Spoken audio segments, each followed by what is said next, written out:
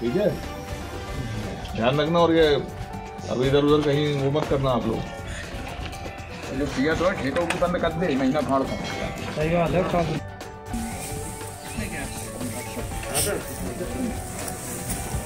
लियो। अ, city कोतवाली TI साहब किसी कारणवश बाहर थे भिंडे से, इसलिए टीआई देहात मेरे साथ थे और नायब तहसीलदार की पूरी टीम हमारे साथ थी।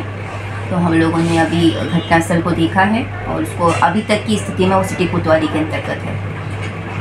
घटना के बाद भिंड पुलिस ने तत्परता से कार्रवाई की है और सभी लगातार शराब माफियाओं को और अफीम बेचने वाले इस उन पर कार्रवाई कर रही है।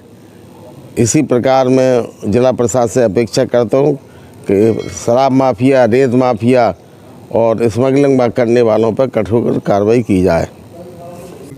एसपी साहब आए उनने उनने यहाँ आके सत्संग की और जो भी हुआ है यहाँ पे पुलिस की कार्रवाई से संतुष्ट हाँ पुलिस तो कर रही आती है। जो भी है कर रही है अपना काम तो पुलिस कर रही है। लाल सिंह। गाँव? गाँव इंदुर की। मृतक के भतीजे हैं हम।